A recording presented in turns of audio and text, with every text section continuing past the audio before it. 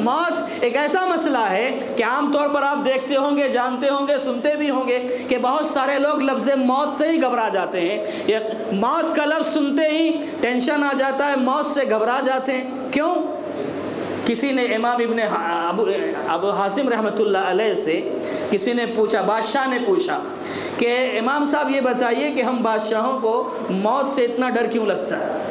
हम बादशाहों को मौत से इतना डर क्यों लगता है? तो उन्होंने जवाब देते हुए कहा कि तुम्हें मौत से डर इसलिए लगता है कि तुम जानते हो कि तुम आबादियों से वीरानियों की तरफ़ जा रहे हो।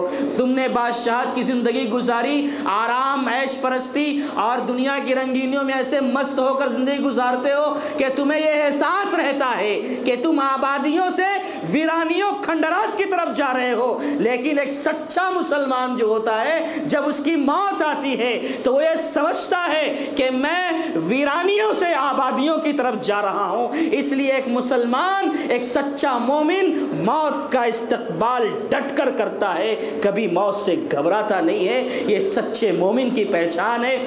कई हदीसें हैं, लेकिन मैं अपने असल मौजू पर आना चाहता हूँ। बस सिर्फ़ एक मिसाल देना चाहता हूँ कि जो मोमिन होता है, मर्द मोमिन होता है बाकमाल होता है, वो अपनी ज़िंदगी की आखिरी सांस तक मेहनत करता है, जफाकशी करता है, दीन की खिदमत करता है, कभी भी मौत से घबराता नहीं है। बिन बाज रहमत का नाम आपने सुना होगा।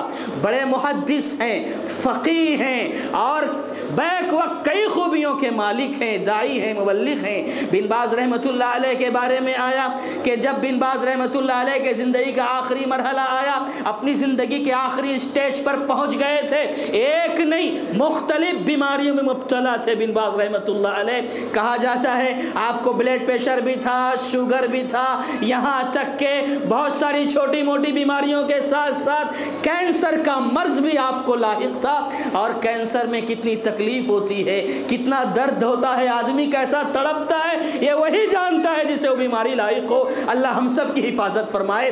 शेख बिन बाज अलैह को इलाज के लिए हॉस्पिटल जब आखिरी मरतबा ले जाया गया, आखिरी दिन, आखिरी मरतबा हॉस्पिटल ले जाया गया, मुआयना किया जा रहा है, चेकअप किया जा रहा है। ऐसे में किसी ने खबर दी बिन बाज अलैह को कि आपकी देख रेख के लिए जो नर्स यहाँ आ रही है, जा रही है, वो नर्स मुसलमान नहीं है, ईसाई है।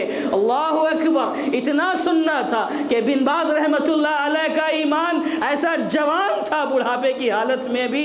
सुबहान अल्लाह मौत के स्टेज पर है। ज़िंदगी के आखिरी लम्हे में है। कैंसर के मर्ज में है, दर्द से करा रहे हैं। लेकिन जब ये सुना कि मेरे सामने जो लड़की है, वो ईसाई है, अपना सारा दर्द भूल गए और उस ईसाई लड़की को बुलाकर उसे इस्लाम की दावत देते हैं। कहते हैं, देखो, ईसा सलाम अल्लाह के रसूल हैं, अल्लाह के बंदे हैं। तुम इस्लाम दावत इस्लाम पेश करते हैं। और उसी दिन जब उनको घर ले जाया गया, और हर दिन इस महिषा की नमाज़ के बाद उनकी मसनद लगती थी, और वो मसनद इफ्ता पर बैठते थे। आवाम इकट्ठे होती थी, उनसे सवाल करती और वो सारे सवालों के जवाब दिया करते थे।